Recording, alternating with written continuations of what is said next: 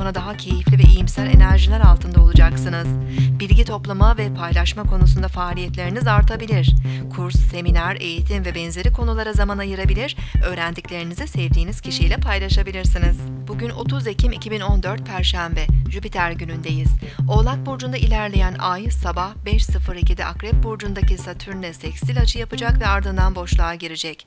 İş ve sorumluluklar ön planda olsa da ay sabah ve öğle saatlerinde boşlukta olacağı için ilerlemekte zorlanabiliriz. Gereksiz hırslar ruhsal sıkıntı yaratabilir. Biraz gevşeyip olayları akışına bırakmamız doğru olabilir.